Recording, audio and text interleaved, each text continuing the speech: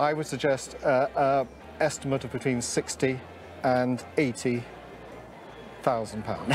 Welcome to Watch Mojo UK, and today we're counting down our picks for the top 10 incredible weapons found on Antiques Roadshow.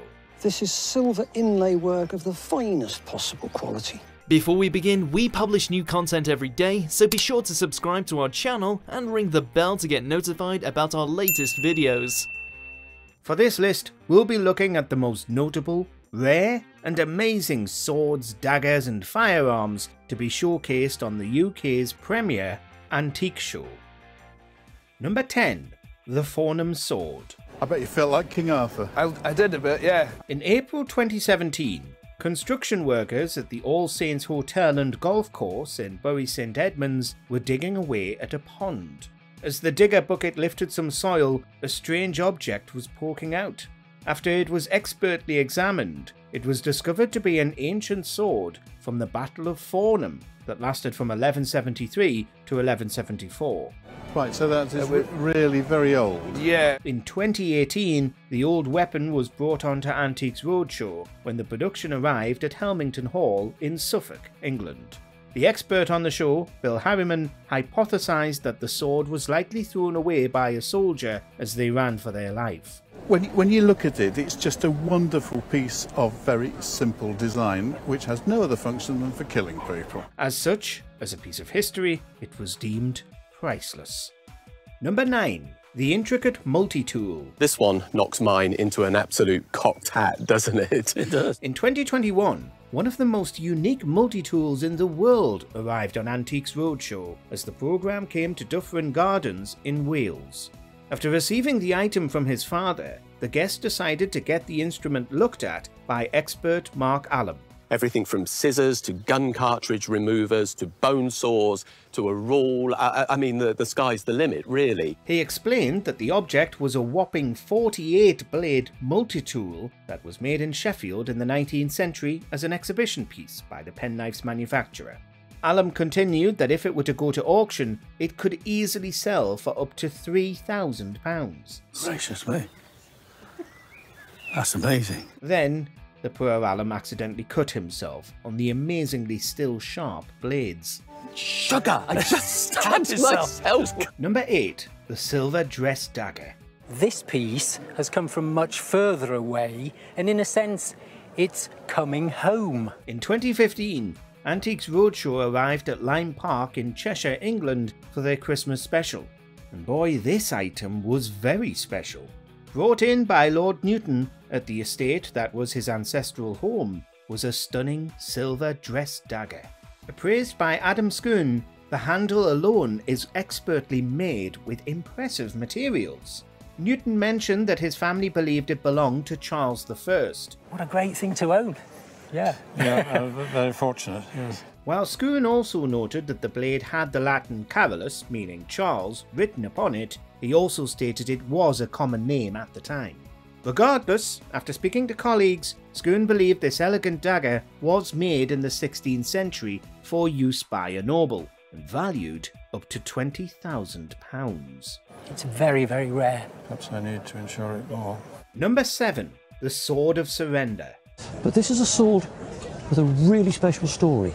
In October 1781, Great Britain was losing the siege of Yorktown during the American Revolutionary War. Seeing no option, the general, Lord Charles Cornwallis, surrendered to the Americans. Instead of going himself, he sent Charles O'Hara to hand over the Sword of Surrender, essentially ending the war before the weapon was returned to the general. This is the actual And sword. this is the actual sword with which he had to surrender. In September 2016, this history altering blade arrived on Antiques Roadshow in Audley End in Essex, England, at the hands of expert Robert Tilney. The weapon had been passed through Cornwallis's descendants before being on the show. With the rich history behind it, Tilney gave it a low estimate of between £10,000 to £12,000, but it could go higher, especially in the US market. It's such a fascinating thing for the American market. It is, isn't it? Number 6. Damascus Barreled Shotgun. Originally from 1760s, 1770s. The last thing you want to do if you appear as a guest with a rare item on Antiques Roadshow is tell the expert where you've kept it when you've been a bit careless. But in 2020, at the V&A Museum in Dundee, Scotland, one person learned this the hard way. Showcasing her weapon, expert Robert Tilney took a loving look at the firearm before asking where she'd kept it. And he was less than impressed to hear it was in the back of a wardrobe. And it lives in a wardrobe. You should be ashamed of yourself. Just look at it. After joking that she should be ashamed of herself, Tilney mentioned the item was a Damascus barreled shotgun with a gold inlay made around the 1770s. As such, he'd expect this to be sold for around £3,000. They've even engraved the back here. Look at this. This is fabulous. Number 5. Royal Dagger. During his travels as an artist around 1819, George Vivian ended up in Albania. Well, it actually belongs to my cousin, and it was uh, acquired by his great great grandfather. There, he met ruler Ali Pasha of Ioannina, who gifted the artist a stunning golden dagger and sheath in a box, which was later found to have been created in Senegal. After Vivian returned to the UK, the item went through the hands of his descendants. Eventually, it arrived in front of Mark Allam on Antiques Roadshow. The expert was delighted to see such a stunning blade with intricate detailing. Even the slight damage to the dagger didn't diminish its historical or monetary value too badly. I'm finding it very difficult to think about putting a value on it. Allam, after much consideration, put a price between £8,000 to £12,000 for the royal knife. Number 4. Italian Pistol. This is a top quality presentation piece. It's not often the programme's experts are a bit lost for words when presented with an item, but that's what happened when Robert Tilney got his hands on an antique pistol in 2022 at Ham House in London, England. The guest stated that the weapon was given to him by his stepfather, who was gifted it by a business associate. You have this fabulous burst of gold. Even the pistol being broken and fixed when the guest was a teenager didn't hinder Tilney's enthusiasm. The expert explained it was made in Turin, Italy, during the late 1700s. The stunning gold details and silver inlay made the pistol exceptional, so much so that Tilney put a valuation of up to £20,000. It, it is just a fabulous piece. Number 3. Indian Daggers. Sometimes it's a small world. In 2021, Antiques Roadshow arrived at Aston Hall in Birmingham, England. The religious aspect to a sword is quite important for many of the martial races of India. There, a guest arrived with a collection of ancient Indian weaponry that belonged to her dad for expert Runjeet Singh, who had dealings with her father in the past. Each item beautifully detailed a tale from religion. One blade, the South Indian Bichwa, spoke about Sati's marriage to the Hindu god Shiva. An upsprung Veerabhadran, who is a protagonist of the story and is pictured right here. Other weaponry included a 17th or 16th century katar and an 18th century specifically created ceremonial double dagger.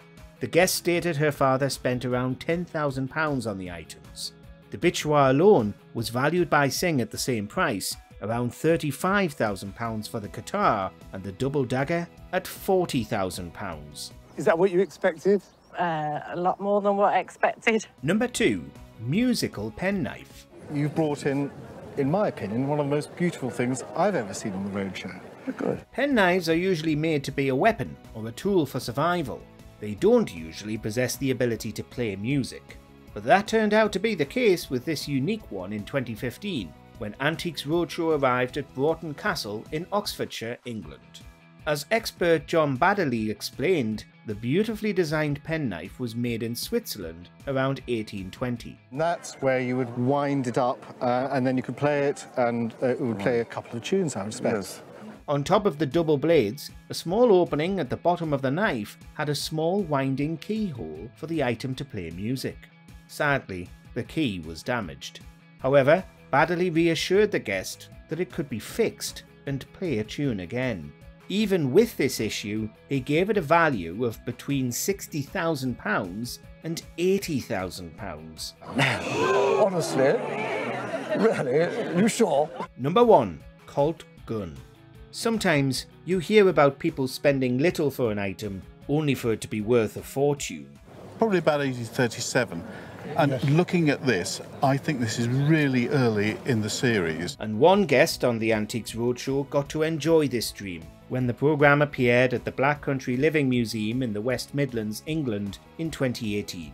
Expert Bill Harriman explained this Colt gun was one of the first to use percussion caps, and this exact one was likely made in an early batch during 1837 in the US. As you pull the hammer back, bingo, out comes a little trigger. In Harriman's opinion, this revolver was the most significant model in firearms history. The guest bought the Colt 40 years ago and spent £150 for it, roughly £630 with inflation in 2018. A startled Harriman stated this item was worth a staggering £150,000. If it is, then I think it's got to be £150,000. Do you agree with our picks? Check out this other recent clip from WatchMojo UK and be sure to subscribe and ring the bell to be notified about our latest videos.